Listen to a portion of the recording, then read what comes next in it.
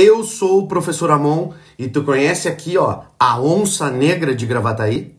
Acadêmicos de Gravataí, fundada dia 26 de fevereiro de 1961, a escola de samba de Gravataí. Foi lá no final dos anos 50, começo dos anos 60, que as famílias Nunes, Santos, Nascimento e Salazar fundaram o cordão de carnaval Os Mais ou Menos. O cordão, os mais ou menos, saía ali do bairro Oriçó e até o centro da cidade cantando e festejando o carnaval. É impossível falar dos primórdios do Acadêmicos de Gravataí sem falar que ele nasceu ali no Clube 6 de Maio e também dentro aqui, ó, da fusão com o time 3 de Maio. Bah, quem não lembra ali nos anos 70 e anos 80, a acadêmicos subindo a Avenida José Loureiro da Silva nos memoráveis carnavais de rua de Gravataí. Em 1983, depois de ganhar o carnaval de Gravataí, o Acadêmicos foi convidado para desfilar em Porto Alegre.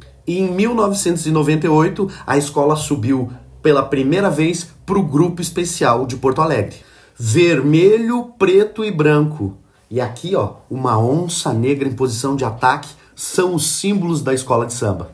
Do Oriçó, passando pela várzea, a escola de samba hoje se encontra na Morada do Vale.